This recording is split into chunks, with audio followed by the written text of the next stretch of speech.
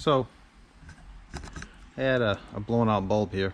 So it's kind of a little quick video. I'm going to show you how to replace your little mirror bulbs and uh, how to get this out. So to get this lens out, or this light out, there's a, there's a tab that's inside here. Um, I used a pick to get it out, but I think you can just move the, the mirror. So let's see, we'll just go all the way up, all the way over with the mirror. see if you can get in there.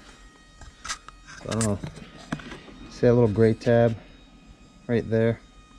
That is the release for the light. So what you have to do is you have to push that sideways and then it pushes straight forward. So actually, I don't know if I can get my finger in there, but if you can get your finger in there or get your mirror to move enough to get your finger in there, then that'll probably work better for you. But I just use a pick. And then that way you don't actually have to move.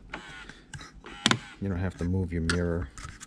So I just went under here with a pick and just pushed it sideways. If you can see that. Just push it sideways and then we'll pull it forward and it should come right out.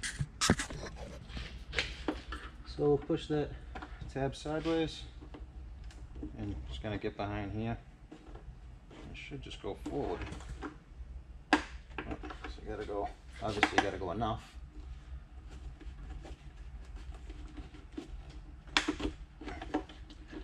And that slides out forward.